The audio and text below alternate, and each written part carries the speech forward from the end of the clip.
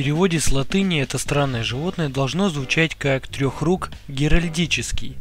Такое весьма необычное название трибрахидий получил за внешнее сходство его негативного отпечатка с трехлучевой свастикой. На сохранившихся дисковидных отпечатках выделяются три выпуклые образования, как бы три руки, радиально расходящиеся под равными углами от центра к краям отпечатка и плавно изгибающиеся в одном направлении, заостряясь к окончанию.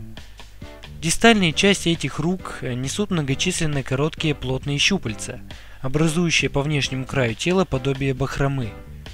В каждом из трех пространств между выпуклостями глубоких крючковидно изогнутых углублениях находится так называемая була – небольшой приподнятый участок, отходящий от каждой руки, от ее выгнутой стороны к соседней руке и почти касающийся своим концом ее вогнутой части – также между рук располагаются многочисленные тонкие, длинные, прямые или слегка искривленные валики. В центре между руками можно заметить небольшую Y-образную бороздку. Как и для большинства диакарских ископаемых, интерпретация трибрахидии весьма затруднительна.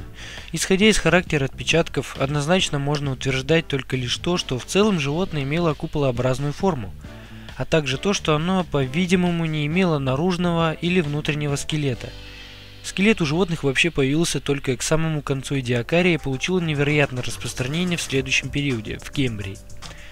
Остальные особенности строения животного представляют собой догадки.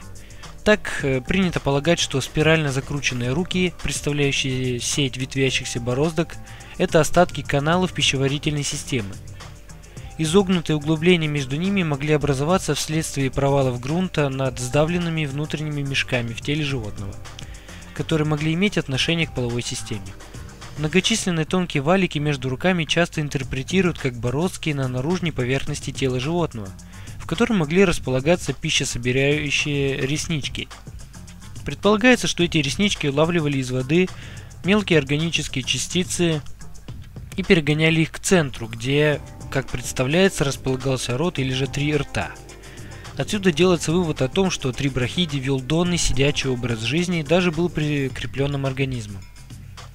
Тело Трибрахиди, вероятно, было прозрачно-студенистым, медузообразным, но его организация во многом зависит от родства животного с таксономическими группами, вызывающего в научной среде недоумение и споры.